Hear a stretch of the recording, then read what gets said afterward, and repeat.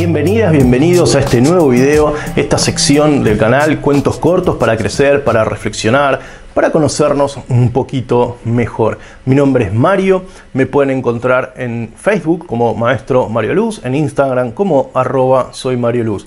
El canal se llama Mario Luz Gracia Day, te invito a que te suscribas, que actives las notificaciones, si te gusta también que lo compartas, al igual que este video. Hoy el cuento está eh, en el mundo animal, ¿sí? nuevamente nuestros amigos, los animalitos, y se trata de una tortuga, ¿sí? una tortuga que quería volar. Si la tortuga que quería volar, ella estaba empeñada en volar. Entonces, ella comenzaba al ritmo tortuga, ¿sí? como caminan las tortugas, encaraba hacia un árbol. Si había un árbol, y ella iba caminando a paso de tortuga hacia el árbol, llegaba al árbol y empezaba a trepar el árbol, como trepan los árboles las tortugas, iba trepando el árbol la tortuga, llegaba hasta la rama más alta y ahí desde la rama más alta se tiraba, se lanzaba a su experiencia. Se hizo pelota, no, no voló nada. Se hizo pelota la tortuga, pero estaba empeñada en volar. Ella quería volar. Y ahí otra vez iba y empezaba a subir el árbol. Y así tardaba como cinco días en subir hasta la rama más alta del árbol. Y otra vez se lanzaba, abría sus patitas y ponía cara de velocidad y tiraba unos aleteos, pero igual, se hacía bosta contra el piso y no volaba nada. Y así dos veces, tres veces, cuatro veces, diez veces, quince veces la tortuga subía hasta el árbol, se caía, se hacía pelota.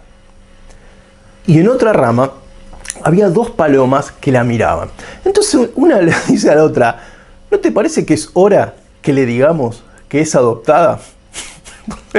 cuando, cuando nosotros, cuando nosotros no conocemos nuestro origen, ¿cuántas veces nos empeñamos en alcanzar objetivos que no nos corresponden y pensamos que si no se dan, es Dios que nos está desafiando y nos está diciendo, hijo, hija, yo confío en vos. Reventate la cabeza contra el piso como la tortuga, porque quiero ver cuánto vos me amás. Sufrí, hacete pelota. Y no es por ahí. O sea, Dios no quiere que tengamos pruebas que nos van a hacer pelota en la vida. Dios nos ama. Entonces, si nosotros reconocemos ese amor de Dios, vamos a encontrar nuestro propósito de vida y nuestra vida va a fluir sin sufrir, sin complicaciones. Busquemos esa conexión. No tratemos de imitar lo que vemos en los demás. Cada uno tiene su camino, cada uno tiene su ritmo. Porque Jesús murió en la cruz no significa que si a vos hoy o mañana te crucifican, vas a ascender al reino de los cielos. No, o sea, encontrá tu propósito, encontrá tu camino. Bueno, muchas gracias. Si te gustó el video, dale me gusta, deja los comentarios, suscríbete al canal, activa las notificaciones y universo mediante nos reencontramos en un próximo video. Gracias. Bendiciones para vos y para toda tu familia.